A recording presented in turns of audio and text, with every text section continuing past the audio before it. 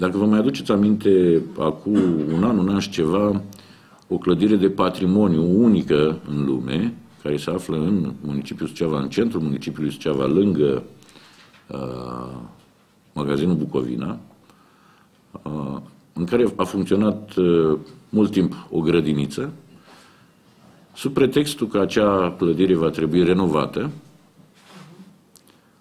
uh, au fost scoși copiii și educatoarea de acolo, ca și cum uh, noi am avea foarte multe grădinițe. Și în momentul de față, sau la acel moment, acel spațiu trebuia să ajungă în curtea PDL, să devină uh, sediu PDL. Și am spus și atunci, și o spun și acum, între o grădiniță și un partid numit PDL, aleg întotdeauna grădinița.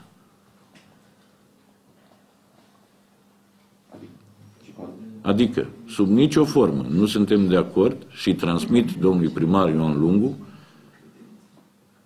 să-și ia gândul că acolo se va face vreodată sediu vreunui partid, dar nici al PDL-ului. Dar s-o renunța la ideea sediului partid. E, în momentul, deci în momentul de față, acea clădire stă în paragină. Nici nu e terminată, nici grădiniță nu e, e nimic. E loc pentru fantome.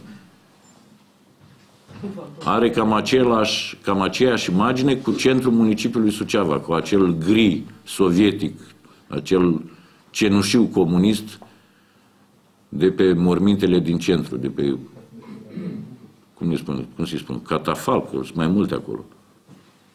De, de deasupra uh, gropi, gropii centrale. Suceava are groapă centrală, are gropar, are tot ce îi trebuie. Băișanu și-a exprimat dorința ca această clădire să fie transformată din nou în grădiniță. Rugămintea mea este ca acea clădire să-și capete urgent utilitate și să revină la matcă, acolo unde a fost inițial.